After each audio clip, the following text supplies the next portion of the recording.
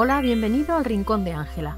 En el vídeo de hoy vamos a decorar una caja de madera con las técnicas de decoupage y pouring o vertido de pintura. Así que si quieres ver cómo lo he hecho, no te pierdas este vídeo.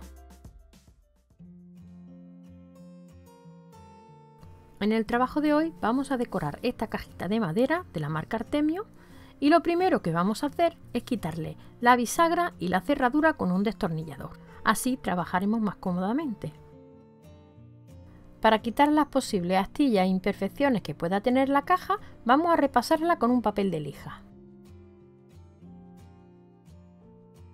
Para realizar la técnica del puring o vertido de pintura necesitamos un medium para puring.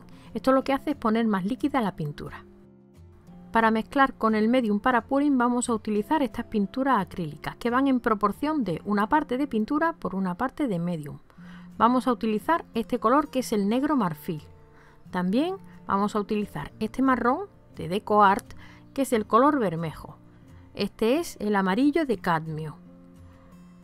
¿Veis qué bonito? Un amarillo muy bonito. Este es el duraznos con crema, que es un color melocotón así clarito. Y también el buttermilk o crema de leche, también de Decoart. He cogido estos colores porque combinan con las servilletas. Vosotros podéis coger los colores que más gusten o que os combinen con la servilleta que vayáis a utilizar.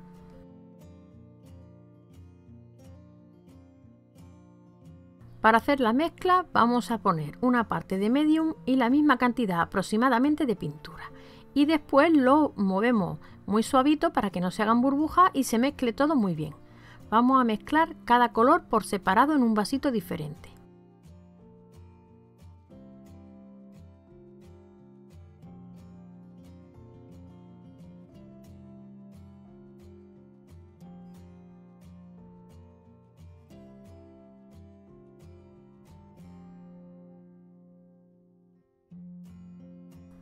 Para proteger la mesa he puesto una bolsa de plástico, como veis. Para recoger las gotas de pintura que vayan cayendo, he puesto esta bandeja que tenía para tirar. Estaba ya muy estropeada, pero para recoger la pintura me sirve. Pongo dos vasitos y sobre él, sobre los dos vasitos, voy a poner la tapa de madera. Así toda la pintura que vaya cayendo de la tapa va a caer en la bandeja que es para tirar. Y ya de esta manera vamos a ir vertiendo los colores sobre la tapa de madera. Si quieres echarlos todos de una vez, lo puedes hacer, todos en el mismo vaso y así los colores van fundidos o echarlos por partes como voy a hacer yo en este vídeo. Si te falta pintura no tienes ningún problema porque simplemente tienes que volver a preparar la mezcla que te falte.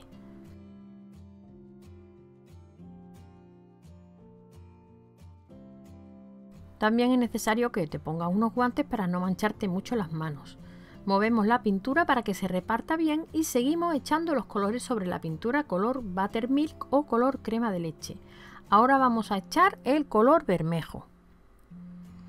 Lo echáis como queráis, así en gotitas, todo de una vez, todo en una parte, repartido, como más te guste, así lo puedes echar.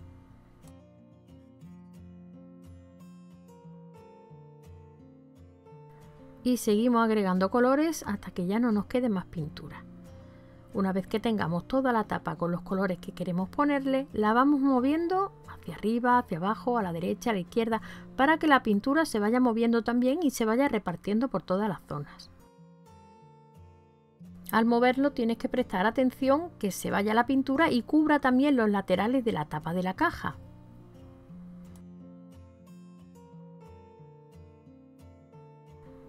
También podéis echar gotitas así como he hecho yo con un palito de brocheta y repartiendo las gotitas si os gustan con celdas y ya simplemente ir moviendo la tapa para que la pintura se vaya desplazando y cubriendo lo que es todos los laterales y toda la parte de arriba y soltando también el excedente de pintura. Y una vez que la pintura esté situada más o menos donde nos gusta, la dejamos secar durante 24 horas. Así irá soltando el excedente de pintura y también se secará.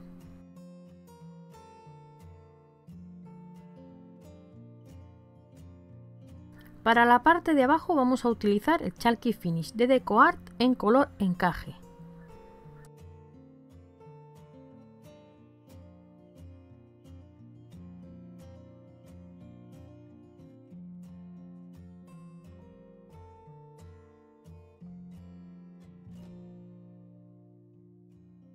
Ya se ha secado la pintura a la tiza y ahora vamos a pintar los cuatro laterales con el medium para decoupage mate de DecoArt. Lo pintamos y lo dejamos secar.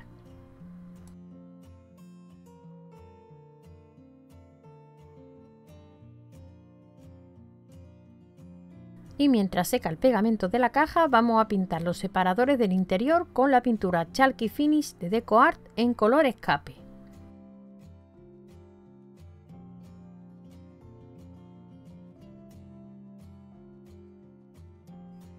Ya secado el pegamento para decoupage y ahora vamos a colocar la servilleta para pegarla. La vamos a poner sin las capas blancas de detrás sobre la parte de la caja que vamos a decorar. Y ahora con un papel de horno o papel encerado lo vamos a poner encima y ahora con la plancha a temperatura media vamos a calentar el papel para que se quede pegado al pegamento que habíamos puesto anteriormente en la caja. De esta forma se va a pegar la servilleta y no va a tener ni una sola arruga. Comprobamos que la servilleta se haya pegado bien y con una lima de uñas vamos a retirar todo el papel sobrante. Hacemos esta misma operación en las tres caras restantes de la caja. Una vez que hayamos pegado con la plancha la servilleta, en todas las caras de la caja vamos a aplicar una capa de pegamento mate para decoupage de DecoArt por encima de la servilleta.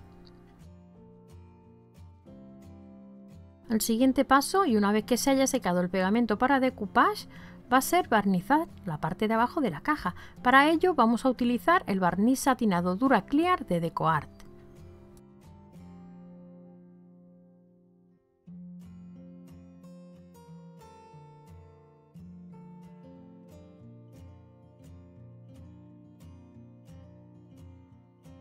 Transcurridas las 24 horas ya tenemos la tapa seca, como veis ha quedado preciosa.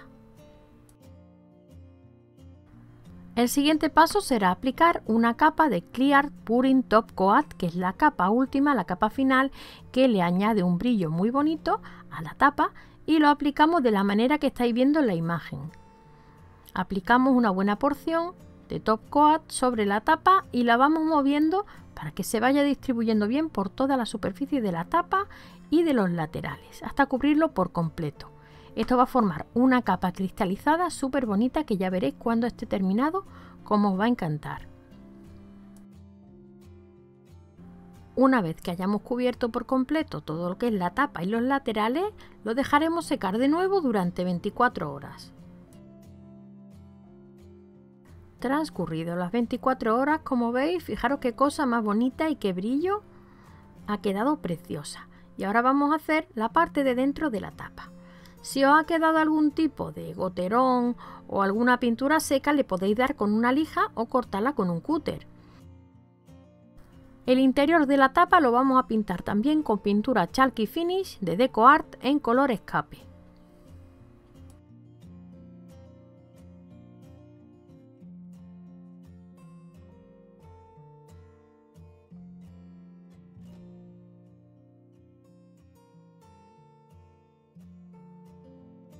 Y por último, ya solo nos queda volver a colocar la cerradura y las bisagras para terminar el trabajo. Y ya tenemos nuestro trabajo terminado. Espero que te haya gustado y si es así, déjame un comentario, dame un like y suscríbete si no lo has hecho aún. Y no olvides compartir el vídeo en las redes sociales para que el canal siga creciendo. Y ya me despido, nos vemos en el próximo vídeo. Hasta pronto amigos.